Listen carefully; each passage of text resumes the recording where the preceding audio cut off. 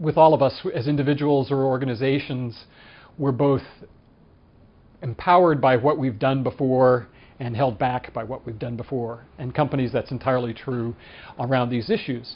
They're not, their structures aren't built to think about these as important business issues. They're not organized um, around them that way.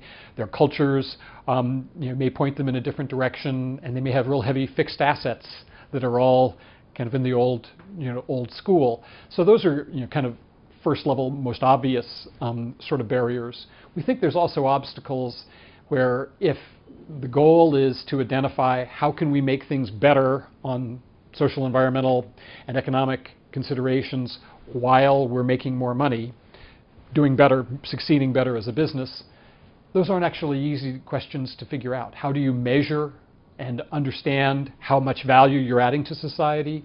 And then how do you measure the impact you're having on your business when many of these sustainability strategies They've got multiple sources of value. Uh, they, some of the value is really hard to measure.